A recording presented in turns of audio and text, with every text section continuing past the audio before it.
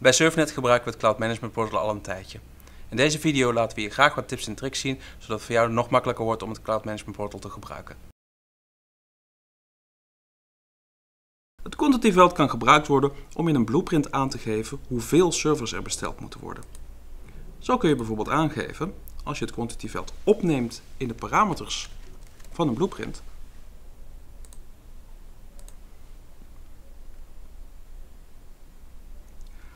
dat deze server tot wel 100 keer tegelijkertijd besteld mag worden. Dat scheelt mensen een heleboel bestellingen plaatsen.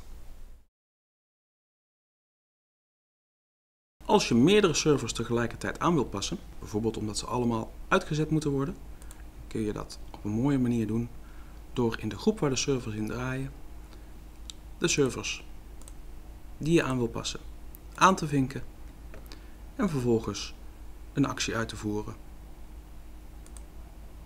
Zoals PowerOff.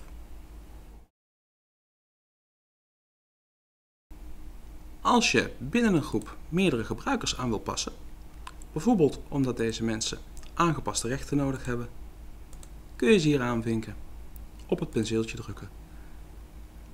En door dit anders in te stellen, worden van al deze gebruikers tegelijkertijd de rechten aangepast. Mochten er nog dingen niet helemaal duidelijk zijn of heb je de behoefte om het nog even na te lezen, hier onder het kopje Docs staan alle documentatie van het product. Een aantal zaken die zijn erg handig om te weten. Hoe dat het nou precies zit met groepen, met gebruikers, maar bijvoorbeeld ook hoe dat de catalog in elkaar zit.